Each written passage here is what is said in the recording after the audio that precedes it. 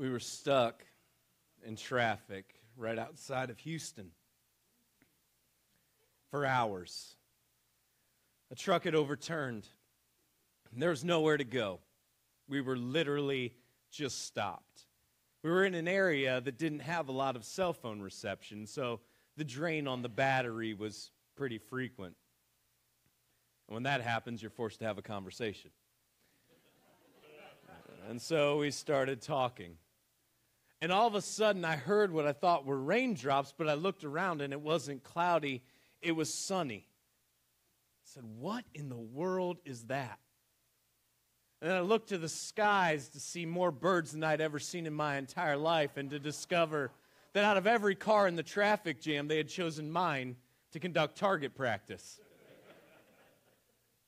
Literally, it was like my car was marked the porta potty at a concert because every car around us was fine. But my car, which was relatively new at the time, was just getting pelted. It was like a drone attack everywhere.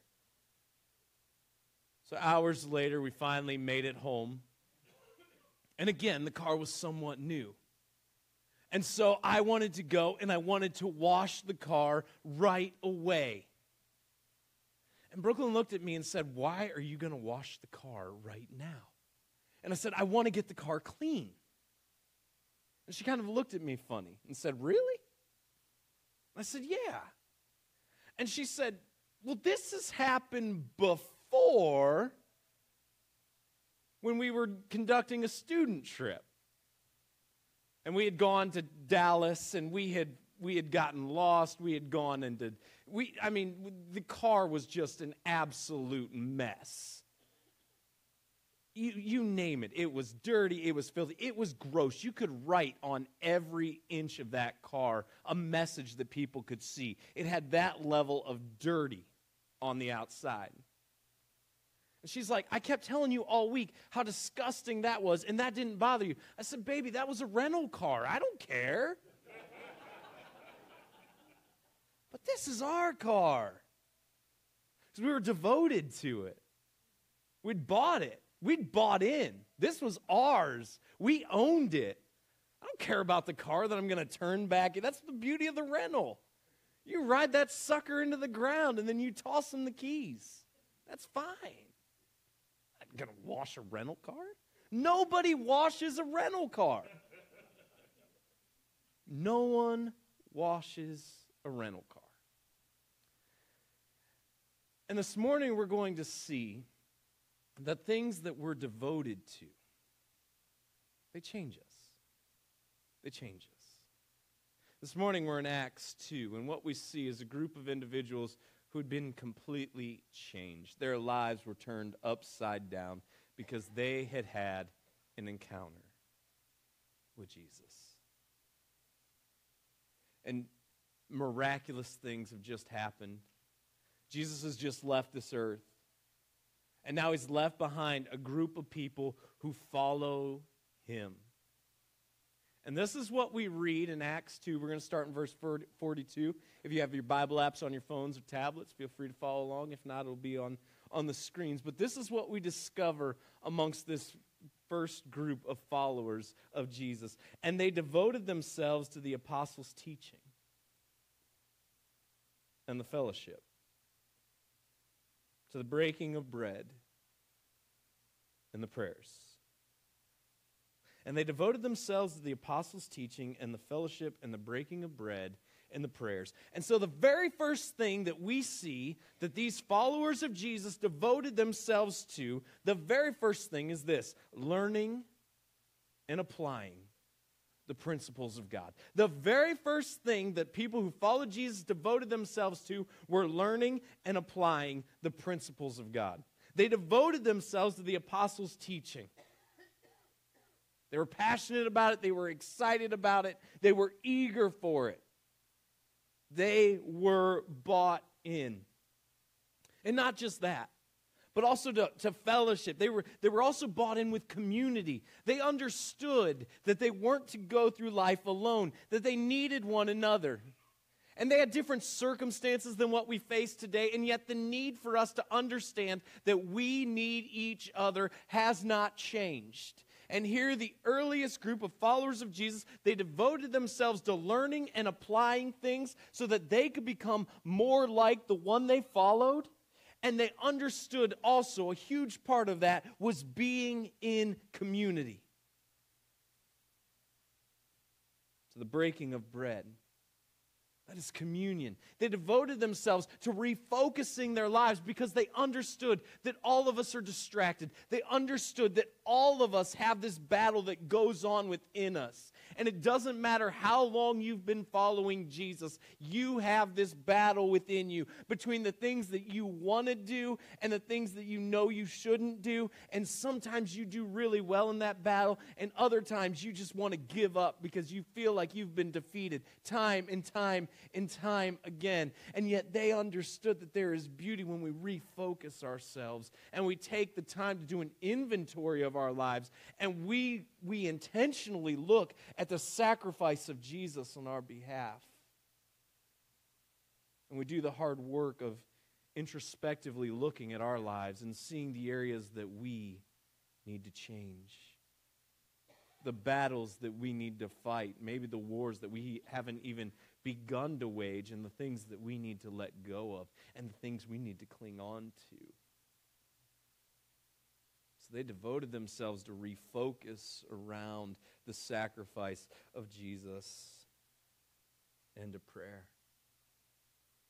Which is a dependency issue. It's, it's just acknowledging the fact that they were dependent upon God. And many of us are many of us are gifted individuals. Many of us have a lot of talents and abilities, and what can happen subtly is we think, I got this. We don't say that as much. We're not like, nah, I'm good. I don't need God. And yet, in our conduct, if, if people didn't know any better, they would look at us and say, We're not relying on God. We're relying on our own strengths, our own abilities, our own talents. Because if you were to look at our lives, if you were to inventory our lives, there isn't that level of dependency that is readily available by us taking the time to be intentionally prayerful about what's going on in our lives. And so here are these people whose lives have been radically altered, whose lives have been radically changed by God.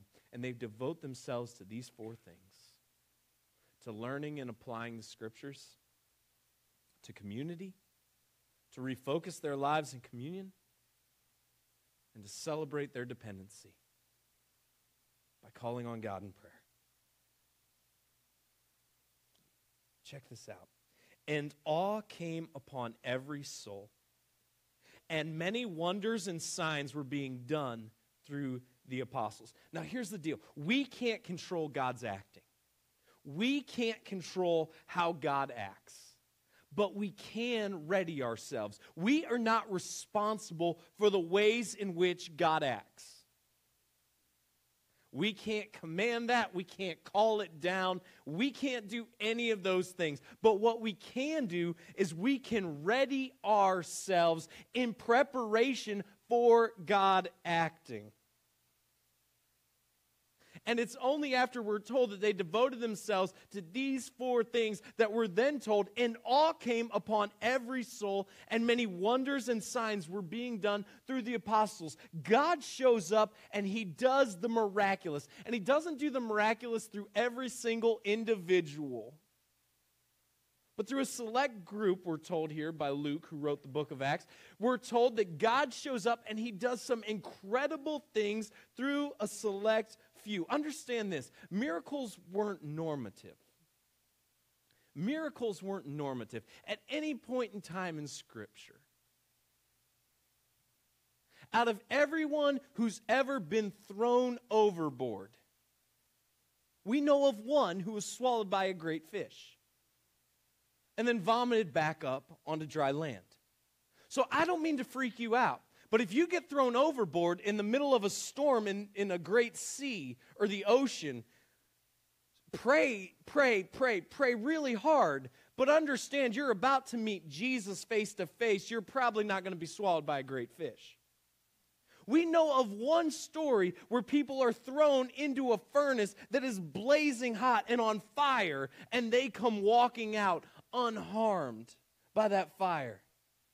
We have numerous accounts of martyrs for the faith who have been tortured and killed.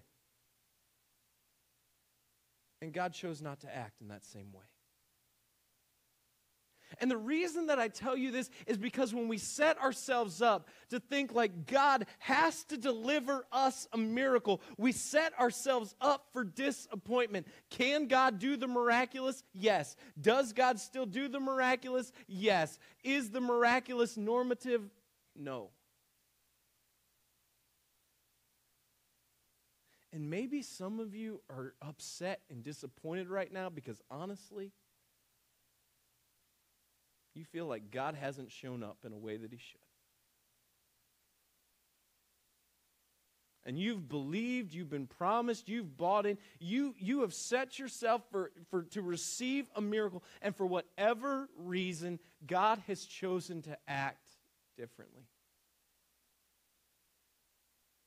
And truth be told, that has made you bitter. Has made you want to throw in the towel. You are hurt and you're angry and you're upset.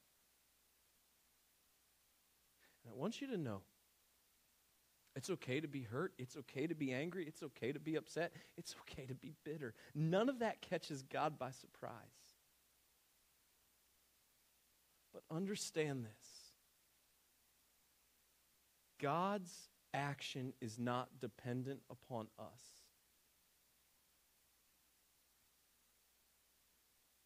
And we will never fully understand all the ways that God chooses to work and chooses to intervene. Or sometimes it seems like he doesn't intervene at all. But understand, God is still at work. Even if you can't see it at that time. Now, here's what's incredible these, this group of people, they got to see in real time. They got to see in real time God's working. And a lot of, for a lot of us, and a lot of times in our lives, we have to look back. See, they got to see the wonders. They got to see the signs. They got to see all these incredible things that the, the apostles were doing. And they got to see it play out in real time. But oftentimes in our lives, we don't get that benefit. We have to look back, and then when we get further from the circumstance, when we get further from the situation, it becomes clearer and clearer of how God was working. But oftentimes, in the moment, it makes no sense to us. We're like, God, where are you? What are you doing?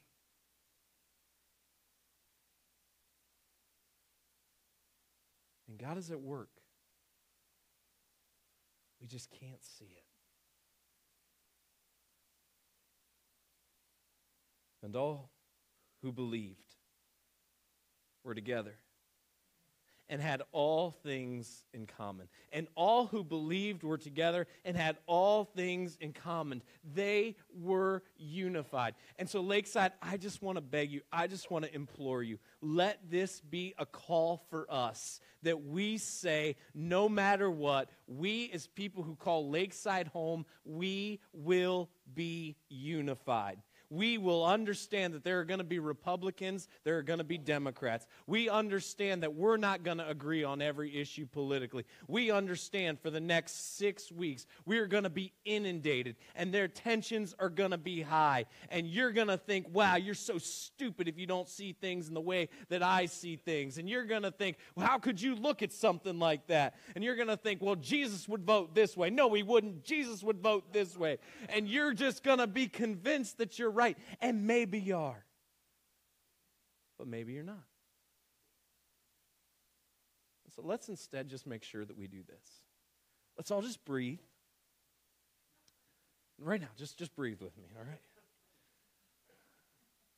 There have been times when Republicans were presidents. There have been times when Democrats were presidents. There have been times when Wisconsin has had a Republican governor. There have been times when Wisconsin has had a Democratic governor. There have been times when you have liked nominees com- confirmed to the Supreme Court. There have been times when you haven't liked nominees confirmed to the Supreme Court. None of that changes our focus. None of that changes our mission. As followers of Jesus, the main thing that we are to do is follow Jesus, not a political ideology. The number one thing we are to do at Lakeside is to follow Jesus. It's to introduce people to Jesus. And so if you're a Republican, we love you. If you're a Democrat, we love you. If you're an independent and you hate all the politicians, we really love you.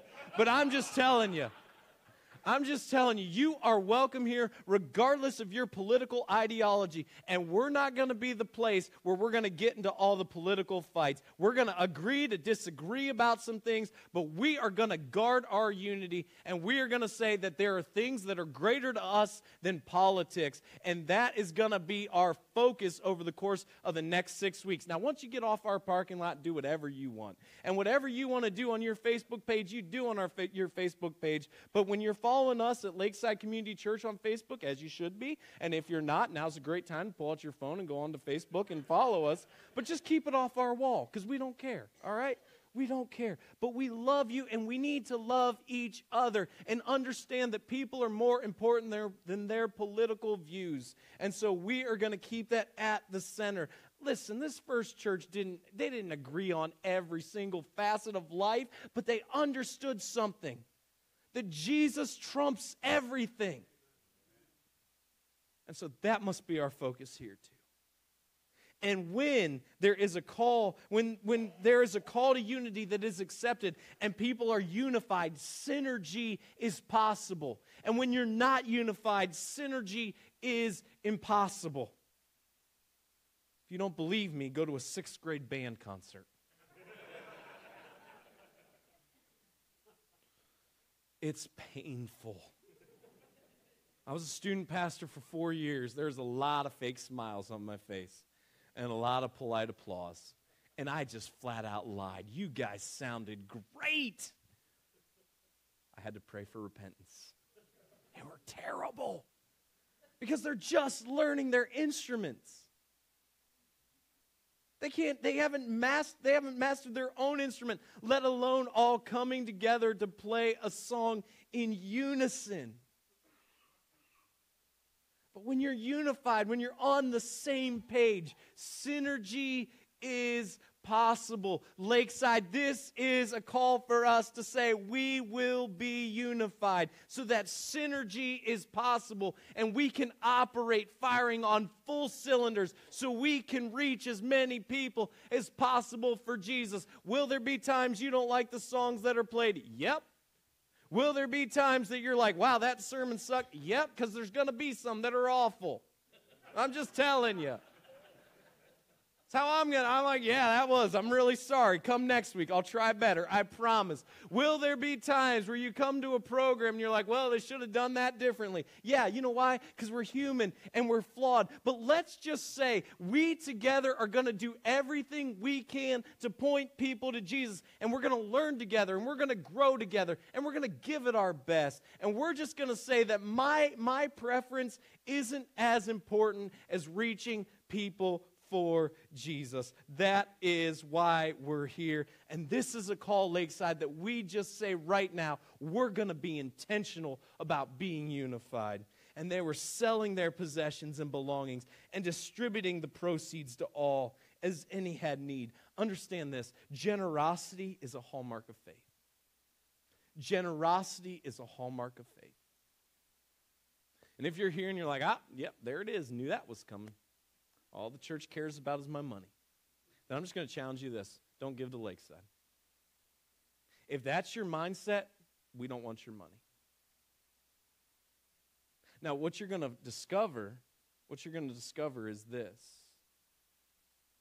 that there is work that God wants to do in and through you that will never be completed until you really are.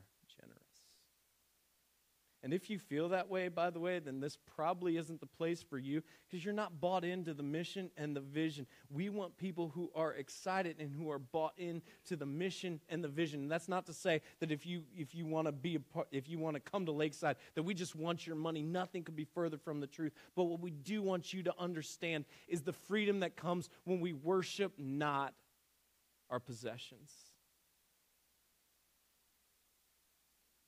But when we're faithful and we let God work and we trust Him.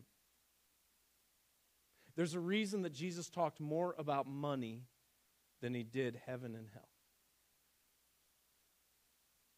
Because one of the greatest indicators of your faith is your bank account. Who are you trusting? Generosity Generosity is a hallmark of faith. You can't avoid it, you can't separate it. And so, if, if you're like, but you don't understand how tight the budget is, Brian, I just want to challenge you with this. Just give something. Just give something. I don't care if it's a dollar. I don't care if it's five dollars. Just give something and put God to the test to see if He'll meet your need. Start small, but just do something and see how God will work. And He'll meet your needs. Generosity is a hallmark of faith. And here are the people who are the earliest followers of Jesus, and they're unified and they're devoted, and they see people in need, and they don't just say, Oh man, I, I wish I could help, but times are tough. No. They cared for each other so much that they gave to the point that it cost them something. They sold what they had so that the needs of others could be met. Lakeside, thank you for those of you who give.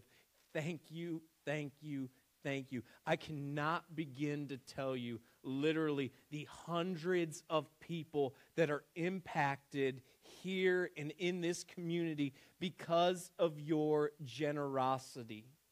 The stories of families that you will never be able to fully know because we value confidentiality and we're working on a way that we can share some of the details of what you have done as a direct result of your generosity. But from my heart, I want to say thank you because we have been a source of hope for people who felt like there was nowhere else for them to turn, and we can point them to Jesus in the process because of your giving, because of your sacrifice. For those of you who give, thank you. For those of you who don't, we're not angry at you, we're not mad at you, but I'm just letting you know you're stealing from yourself the ability for God to do some really incredible things in your life. And my challenge for you today is start small, but do something. Maybe it's a dollar, maybe it's five, but see what happens when you give, how God will bless you. Because He will. And this isn't some promise, like if you give a dollar in the offering plate, that you're going to go to the mailbox this week and a thousand bucks is going to show up. This isn't something like that. But generosity is a hallmark of faith. And day by day, attending the temple together and breaking bread in their homes, they received their food with glad and generous hearts, praising God and having favor with all the people. And here we see it walking in community, attending the temple together, breaking bread in their homes, relationship, and they were thankful. They received their food with glad and generous hearts, praising God. Just want to ask a question Are you a thankful person? Are you thankful? Because here's the trap we can focus on what's not going well. We can focus on our problems. We can focus on all the things that we wish we, we had that we don't have. We can focus on all the, all the things that are just bringing us down. We can focus on everything that's going wrong and in the process miss everything that's going right. Are you thankful? And then lastly, we see this. And the Lord added to their number day by day those who were being saved. So they were infectious. When people looked and they saw, they wanted to be part of something like that. They wanted to be part of something bigger. They wanted to be part of something greater. They wanted to be part of a community like this community. They saw that they were different. They saw that things like that they had going on there weren't like the things they had going on in their own lives. And they saw what happens when the hope of Jesus is lived out in people's lives.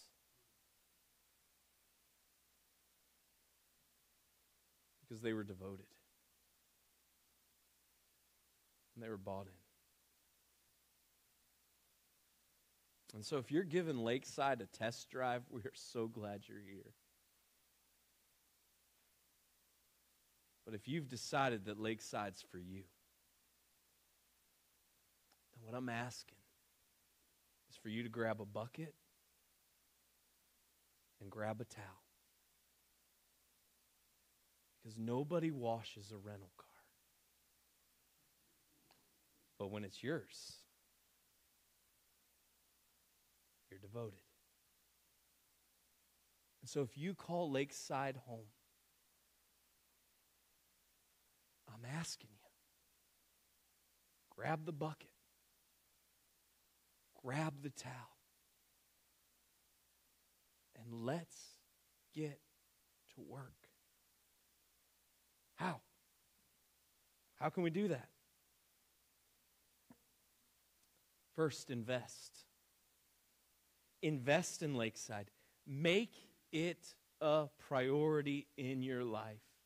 Make being here a priority in your life. Make telling people about this place a priority in your life. Give generously here. Make it a priority. Invest in Lakeside. Second, we're asking you to engage with people. Engage with people. Now, I understand that some of you are introverts, and you're like, oh, I, I engage. Like a conversation a week is good for you, and that's fine. If, if you're an introvert, I'm not beating up on you, but I just I just want you to know that we understand you don't need as many connections as extroverts do. And some of you are extroverts. And you can have 30 quality conversations a week, and you're like, man, does anybody even care about me? You're like, are you serious? Like five people a day are sitting there just pouring into you. What do you mean? We understand there's this balance, but for, for the most introverted person, you still need connection. And for the most extroverted person, understand that the introverts, you're like a traveling salesman to them, okay? So just cool it down a little bit. It's not that they don't love you, but it's just you're a lot, okay? We still love you, but just take a breath. Take a breath. But regardless of whether you're an introvert or an extrovert, you need community. So make sure that you're invested in the lives of others. None of us are called to go through life alone. Make sure that you're invested. Third, refocus. In just a couple minutes, that's what we're going to do together. And if you if you're somebody who's made the decision to follow Jesus and you've given him your life, then we invite you to take part of this. If you haven't yet given your life to Jesus, we're just going to ask that you let this pass you by because if you take it, you're just going to think that is the world's worst appetizer that I've ever had in my life because you're, you're just not you're just not going to get it, and that's that's okay. We're so glad you're here. But what we're going to be doing is is called communion, and what this is is it's just us remembering the sacrifice of Jesus on our behalf. And so there's, there's little pieces of, of bread or, or crackers. And what that reminds us is that we believe that all of us have, have made poor choices in our lives, something that the Bible calls sin. And God is perfect and He hates sin and He has a standard of perfection, and none of us meet that standard. And so God still loves us in spite of that fact. So He sent His Son Jesus to die on the cross for our sins. Jesus was fully God and He was fully man. Divinity and humanity on full display met in, in one person, the God man Jesus.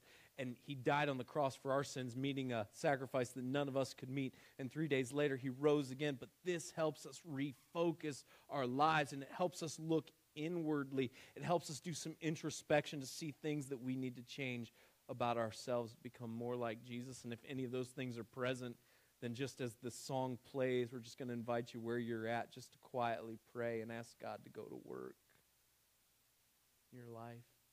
And just hang on to it, and then I'll come back up and we'll eat it together and we'll drink the juice together just to be reminded of the sacrifice of Jesus. But when we're asking you to buy in, we're just asking you to regularly refocus. And sometimes that'll be communion, and other times it will just be introspectively take inventory of your life. And lastly, we're asking you to pray. Make it a point right now, pull out your phone, make it a point, set yourself a, a reminder in your calendar just once a day for the next week just once a day, if everyone here would devote themselves to at least once a day, pray for God to work here at Lakeside and to do some incredible things. Can you imagine what God will do when we collectively together pray for God to work here? So, what we're asking you to do is to commit just for one week. Just try it out for one week. Let's just all say, this week, I will commit to at least once a day praying for God to work at Lakeside. And let's see what happens. Now, am I promising the miraculous? No. In fact, God may work in a way that none of us could even tangibly point to next week. Be like, oh, Good thing we all prayed for a week, God. but God's story isn't dependent on us. God's acting isn't dependent on us. And I promise you this if we'll look for it, we may not see it a week from now. We'll look back and we'll see what God was up to. You're just testing us out, thanks so much for being here. If you're bought in, here's the bucket. Here's the towel. Let's get to work. Because this isn't a rental car, this is ours for the glory of God. God, I pray that you'd help us. I pray that you'd help us be committed. I pray that you'd help us be devoted. I pray that you would do incredible things through us. I pray, God, that we would be unified, that we would put our differences aside, and we would keep you as our main focus. God, I pray that we would be invested in one another's lives, that no one who walks in this place would feel like they are alone. God, I pray that you'd help us learn I pray that you'd help us grow. And I pray that you'd help us refocus, seeing what needs to change. As we receive communion right now, God, I pray that you'd help us remember the sacrifice of your Son, Jesus, on our behalf. Lord, I pray that we never grow weary, never grow tired, never grow comfortable with that message. And instead, that we would grab the bucket and we would grab the towel and we would impact as many people as possible for you. Do a work in this place, we ask. In your Son, Jesus' name, amen.